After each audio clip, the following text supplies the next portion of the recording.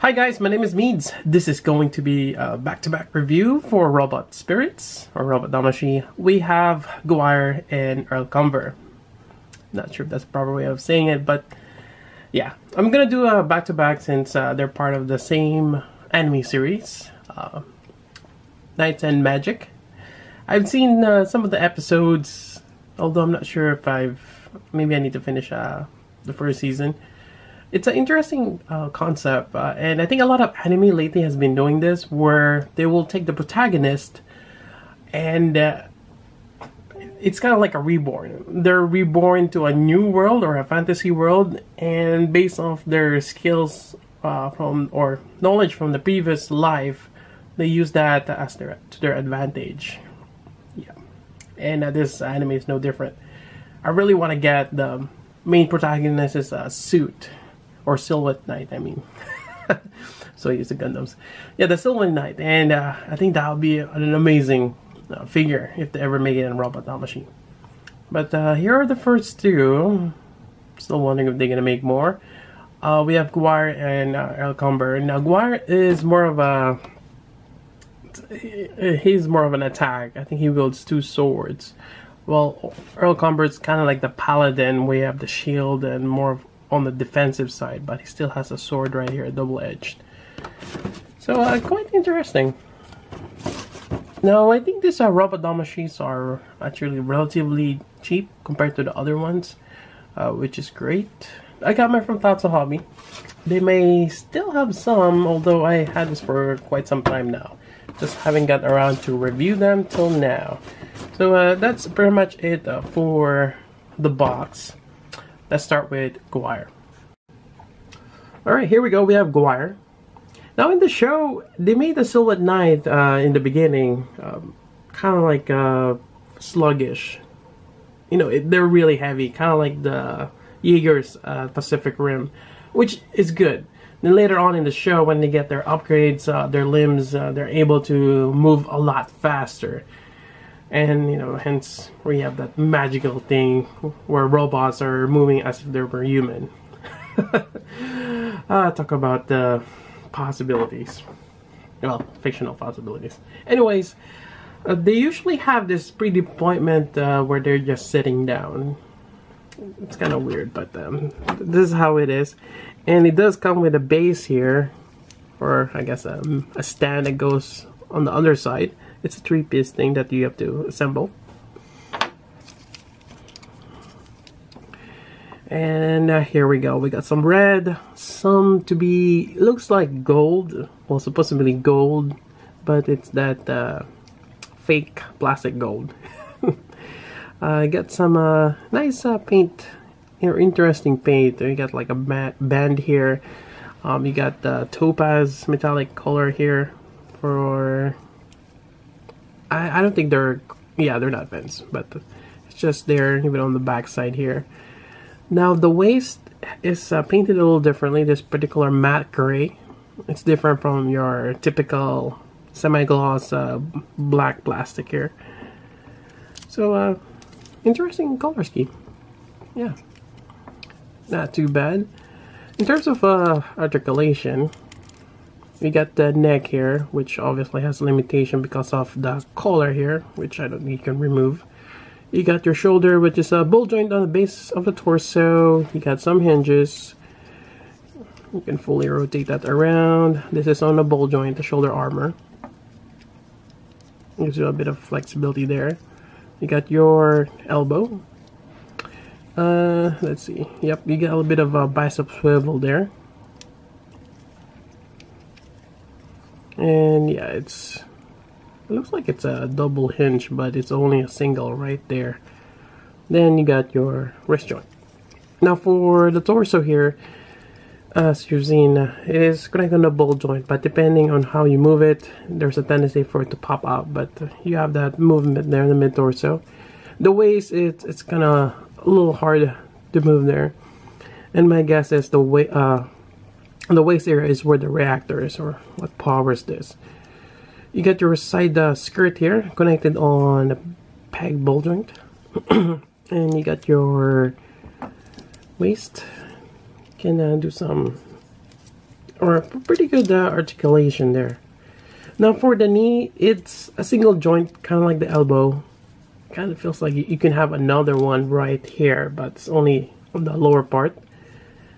Not too bad for the knee. Got the knee, a nice knee armor. Then you got your ankle here. You got a heel articulation hinge and a ball joint right there. So uh, you can do some nice uh, wide stance. Yeah. In terms of uh, hands, you got uh, another pair, just uh, relaxed hands, other than this. Then you got your weapon. You got this uh, blade, which see if I can put this on here. There we go. So he wields two swords. It's more of the attack. Yeah, let me see if I can put this on here. There we go. Yeah, definitely a, a really cool design. Oops. to kind of balance that out. and uh, lastly, we have this two attachment. Now, this two attachment is for the sword. You can actually combine the sword. Let's uh, take that out. And just combine them. Um, I think you can put it either way since swords are identical, but they're not gonna be aligned. The other side is gonna be shifted a little bit to the side. Still not too bad. And uh, this is uh, kind of like stash. You got just a pangle there and just put on. There we go. Which is not too bad.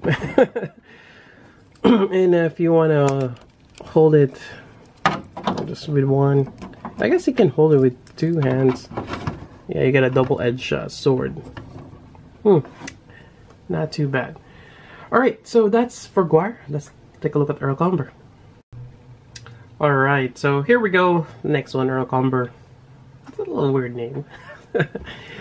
Alright, so this is the base that uh, I showed uh, previously. You're just gonna connect them and it's actually a little hard um, I would suggest to do a little bit of twist and turn. That will probably help you get them as close possible. Yeah, there we go. Just be careful that you don't want to snap them. Alright, so likewise, put this underneath. And you can have them on a sitting position. Actually, you can probably put the sword so Let's see if I can uh, do that uh, particular stance. Hmm, it's a little uh, stiff here. Oh!